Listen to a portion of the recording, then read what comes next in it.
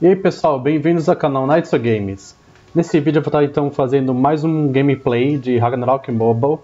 E nele, como já me tornei um bruxo, já andei jogando um pouco com ele, eu vou estar fazendo umas missões que eu deixei para trás, porque meu objetivo era chegar no nível bruxo rapidinho para ganhar habilidades novas, skills novas e o jogo ficar um pouco mais interessante.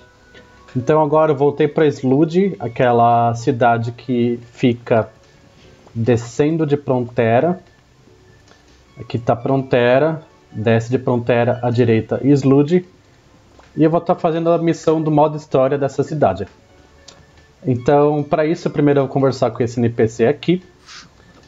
Primeira opção. Para a partir de agora, então, eu tá ganhando 5 vezes mais experiência.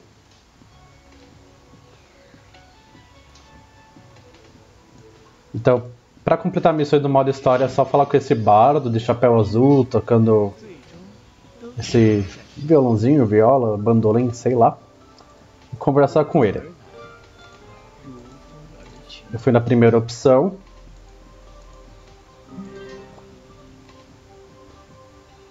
Ele tem duas ou três missões, vamos ver. Agora eu fui na segunda.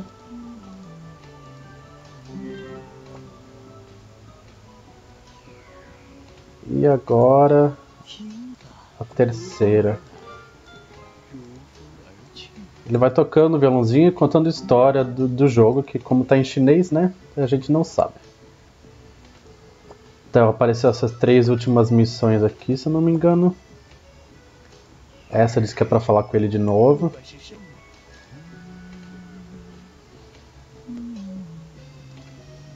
E falar com ele de novo.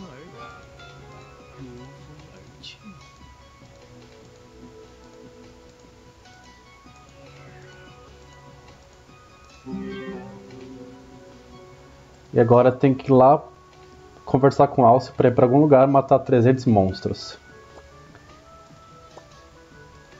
Essa daqui que apareceu tá dizendo que é para Prontera. Já decorei Prontera em chinês. Então vamos falar com a Cafra.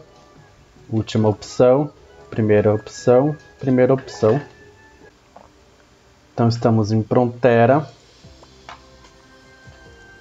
Diz que é para ir lá falar com a NPC que te dá receitas para fazer chapéus.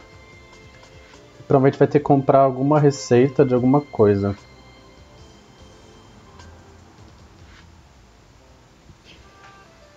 Então vamos falar com ela.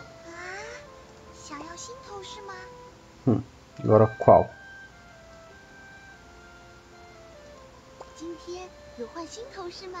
Ah.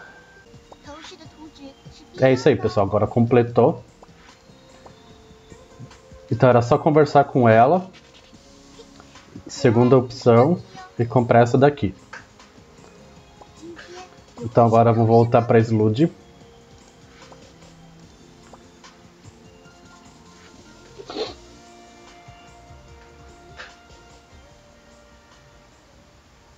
Para voltar para Slude, então é só a gente conversar com uma Cafra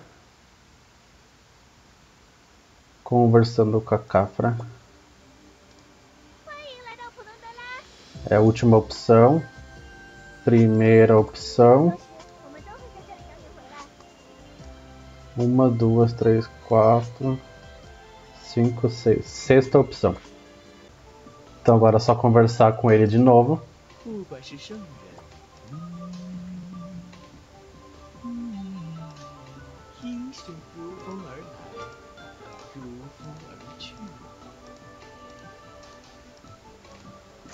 Queria entender o que ele fala, eu gosto de, de saber a história por trás do jogo.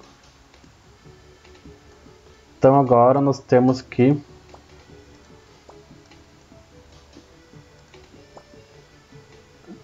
matar 300 monstros ou no navio ou lá na caverna.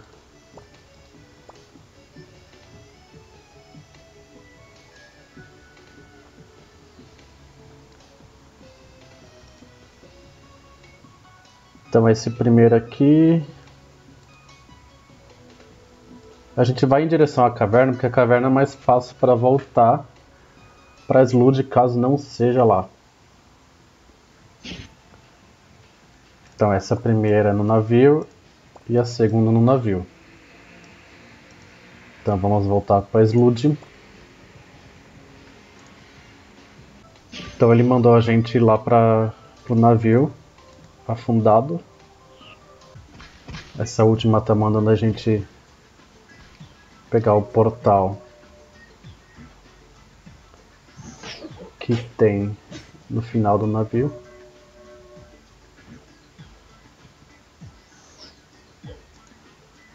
Então, pessoal, uma coisa que não acontecia antes da gente virar bruxo é que agora vários monstros atacam a gente.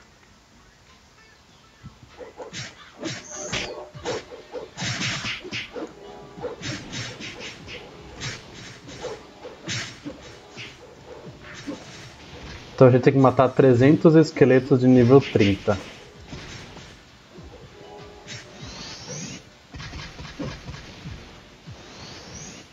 Nossa, aqui tem um MVP. É melhor sair daqui antes que eu morra.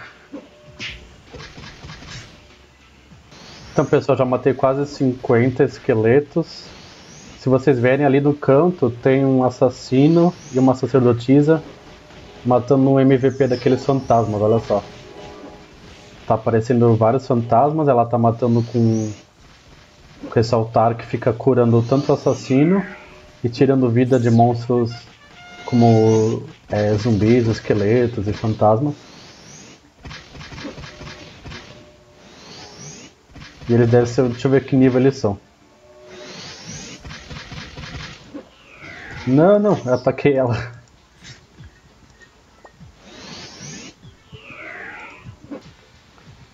Então, pessoal, como aqui tem vários esqueletos, eu vou estar testando umas habilidades novas que eu ganhei como bruxo para vocês darem uma olhada. Vou usar nevasca. Essa nevasca então ataca todos os monstros ao meu redor. E a barreira de fogo é magia de mago mesmo, que eu ganhei na primeira classe. Vamos ver se matar várias assim vai mais rápido ou se matar uma, uma mais eficiente. Nevasca, congela e joga eles para longe, além de dar dano. Barreira de fogo me protege quando eles vêm me atacar. É, acho que assim está sendo mais eficiente. Uma dica para vocês, pessoal: quando congela o monstro, não ataque ele normalmente. Pega e joga uma, uma magia de eletricidade, como a que eu evolui de bruxo Jupiter Thunder, que o dano vai ser incrível. Vou mostrar para vocês: ó, vou congelar esse esqueleto com o Fast Driver e atacar ele com o Jupiter Thunder. Aí o dano foi de 4 mil. Então pessoal, eu estou mostrando para vocês como é que está a minha árvore de habilidades por enquanto. Então, como mago, quando eu cheguei no nível 40, a gente abre aquela mochila que a gente pode abrir a cada 10 níveis. Eu resetei as minhas habilidades, eu coloquei 5 pontos em Soul Strike, 5 pontos em é, Firebolt, 10 pontos em Firewall, 10 pontos em Frost Driver e 10 pontos, eu esqueci o nome, mas é para recuperar mana. Agora, como bruxo, que eu já estou nível 12, eu coloquei 7 pontos em Jupiter Thunder, 1 ponto em é, nevasca. E 4 pontos nessa aqui, que a cada monstro que a gente vai matando, a gente recupera um pouco de mana. Eu pretendo pôr Jupiter Thunder nível 10, é, Lord of Vermilion nível 10, Nevasca nível 10, aí já foram 30 pontos. 4 nessa daqui de recuperar mana quando mata um monstro. E 5 nessa que cria uma proteção, uma barreira física para proteger contra danos o, nosso bruxo e uma de Heaven's Drive, que é aquela que faz tipo um terremoto e joga o monstro pra cima. É pessoal, a gente quer dar uma de fodão às vezes só porque virou um bruxo, mas acaba morrendo. Morri tive que voltar pra cá agora. Mesmo tendo monstros mais fracos, 10 níveis mais fracos do que eu, quando ataca vários assim de uma vez é perigoso. Olha pessoal, é cansativo matar esses 300 monstros. Tô só na primeira parte, que é esse esqueleto. Tem ainda outra, que é mais 300 de algum outro monstro. Se vocês separarem, pessoal, tem vários emojis de malvados ou de risada aparecendo. É, são uns monstros que eles são invisíveis pra gente. E como é que a gente faz para poder enxergar eles e matar eles? Vocês têm que Lá em Prontera, no NPC que compra habilidades de explorador, você vai ter que comprar essa habilidade aqui, ó. Que tem uma câmera com uma caveirinha. E aí, para vocês poderem atacar esses monstros, vocês vão ter que tirar foto deles. Na câmera eles estão visíveis, estão vendo? Então você tira foto deles, que eles vão ficar visíveis para você atacar. Então agora eu tô atacando eles, tá vendo pessoal?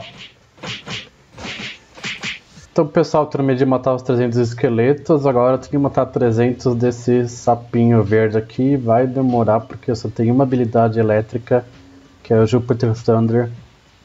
Ela tem um dano altíssimo, mas como vocês podem ver, ela demora muito para carregar. Então eu vou matar esses bichos aqui pessoal e depois eu termino o vídeo com vocês. Então, pessoal, tô quase acabando de matar os 300 sapinhos aqui. Nossa, queria lembrar o nome de todos os monstros, acho que vou dar uma pesquisada, porque faz muito tempo que eu joguei Ragnarok não, e agora em chinês tá difícil, né, pessoal? Então, matei os 300. Então, vamos voltar pra Slud e conversar com o Bardo. Então, agora é só conversar com ele de novo.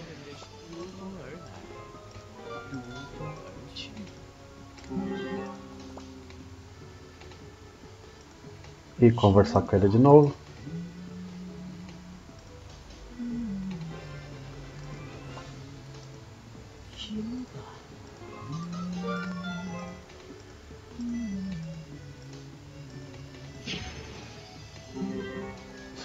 Engraçado ele cantando.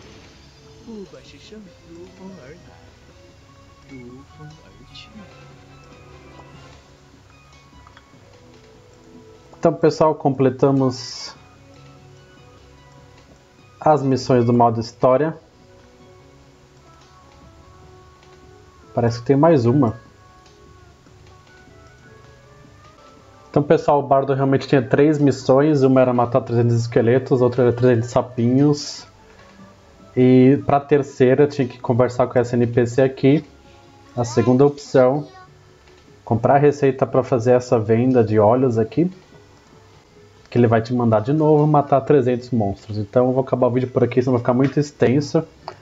Mas é isso aí, pessoal. O modo história de Prontera foi assim: matar 300 monstros de três tipos, então 900 monstros diferentes. E agora é a mesma coisa. Acho que vai se repetir assim a cada cidade. Espero que vocês tenham gostado do vídeo. Dê o seu like, se inscreva no canal. E até o próximo, pessoal. Um forte abraço.